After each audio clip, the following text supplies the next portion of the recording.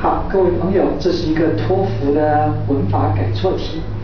这种题目一看就知道答案，因为尽管这里面很多新的或者是看不懂的单词，可是文法结构还是那一套。各位看到这个地方是一个 and，我们称之为连接词，所以各位 C 跟 D 的位置左右一定要一样。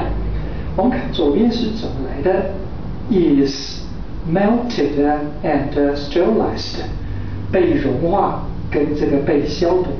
尽管你看不懂这两个单词，你一定也看得懂，这叫做 be 动词加过去分词的两个过去分词，被怎么样跟被怎么样。来，这边一个 and，它的右手边也有两个，一个是 sweetened，一个是 shaped。所以各位，这就是连接词，一看就知道答案。左边跟右边要一样。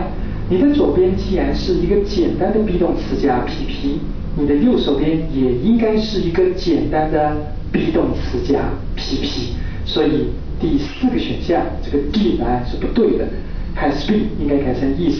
一看我们就知道它有问题。所以了解了英文的结构文法，你一看就可以知道答案。好，那各位我们说过不推荐大家只会答题。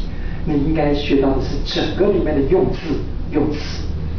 Chewing gum is made，这是本句的主词动词。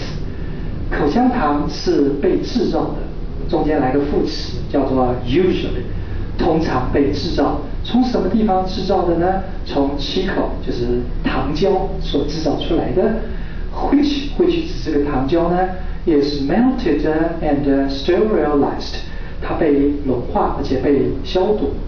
And then，然后再做两个动作。And is，这边应该是 is，但是 is 因为前面有个 is，也可以被省略掉。Sweetened，被加甜。